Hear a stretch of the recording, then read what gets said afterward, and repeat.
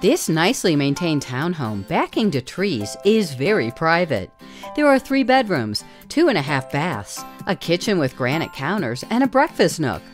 The large main level has a living room and dining room combo. The three bedrooms are all ample size. The finished walkout basement has an upgraded sliding door to the rear yard, backing to the trees. The lower level has a full bath and a gas fireplace. Enjoy two reserved parking spaces, a pool, and a tennis court. The Wolters Group is ready to help you buy the house you deserve, so call today.